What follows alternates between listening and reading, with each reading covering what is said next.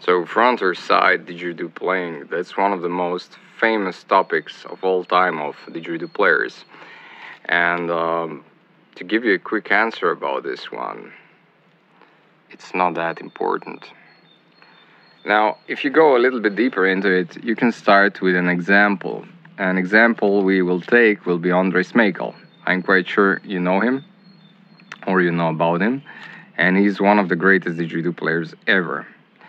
He has changed what didgeridoo is in this reality, and even if many great players will come, he will still be one of the greatest ever. So that is his importance.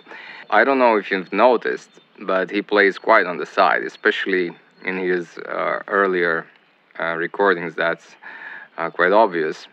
And he's not very disturbed about it. He still plays like unbelievably good.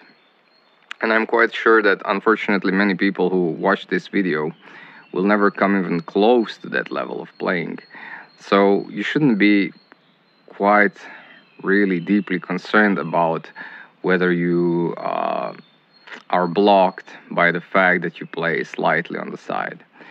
To go even deeper into it, I don't think that it's totally relevant whether you play on the side or front because you could be playing on the wrong side.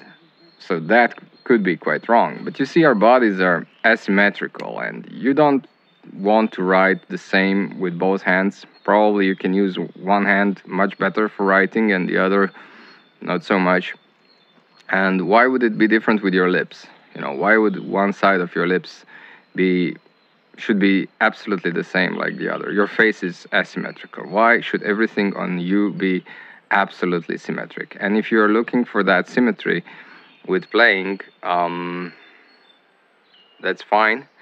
But I don't think you should be very concerned about it in terms of if you, everything is going right and if you manage to get your time for practicing, then I don't really see a problem there.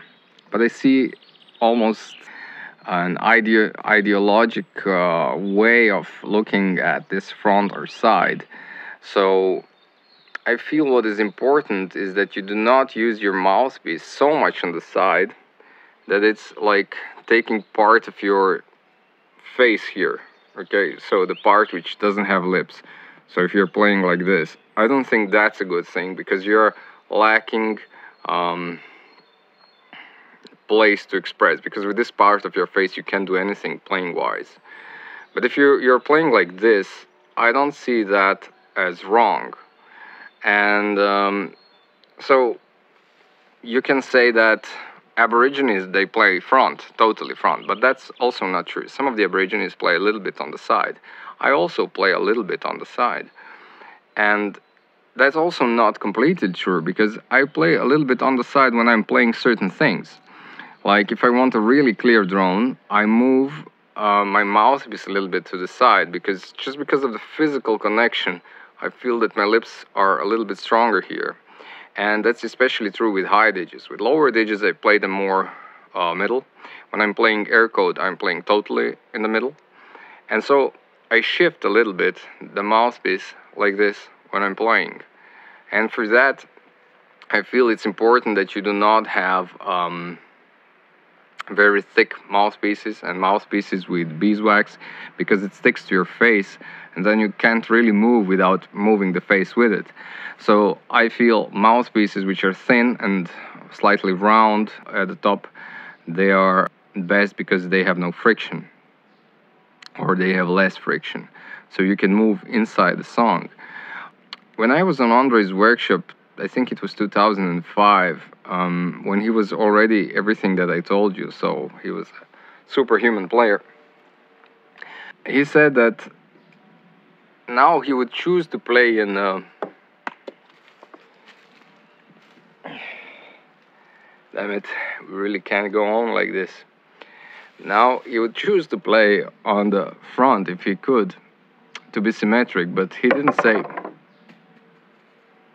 the reason for that.